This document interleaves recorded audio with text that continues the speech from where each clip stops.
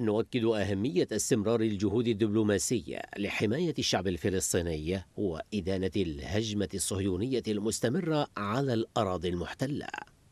هذا ما تمخض عنه زعماء حكومة الإطار التنسيقي والتي تصف نفسها بحكومة المقاومة التابعة لمحور الممانعة الإيراني.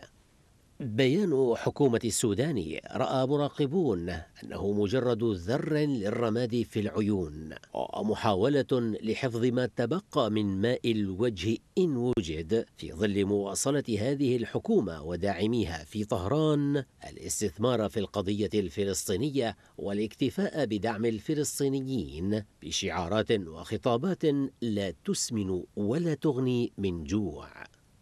كلام المراقبين عززه معهد واشنطن لدراسات الشرق الأدنى إذ أكد أن الميليشيات المدعومة من إيران في العراق لم تقدم سوى مواقف خطابية فارغة بزعم دعم معركة طوفان الأقصى بل واتهم المعهد هذه الميليشيات بتمثيل دور في عرض مسرحي وربطه بأحداث لا يمكن أن تتحقق على أرض الواقع.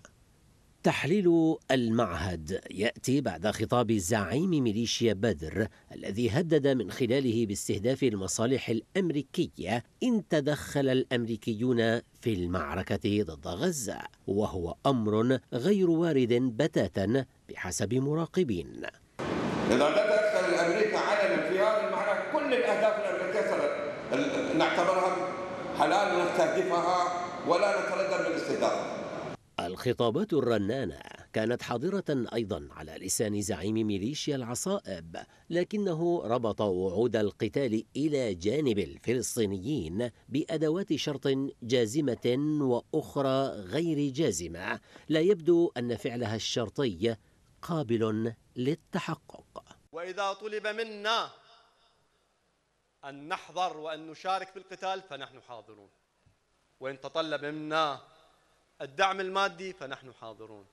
لطالما استثمر ما يسمى محور المقاومة من رأسه في إيران إلى أذرعه في المنطقة بمحو إسرائيل وتحرير فلسطين. لكن هذا المحور وعندما جاءت الفرصة لتحقيق هذه الشعارات اكتفى بالمشاهدة وتجديد إطلاق هتافات دون أن يجرؤ على رمي حجر واحد على أطراف مستوطنة لا تبعد سوى أمتار عن أذرعه في المنطقة. في وقت تدك الطائرات الإسرائيلية البيوت في غزة وتهدمها على رؤوس ساكنيها.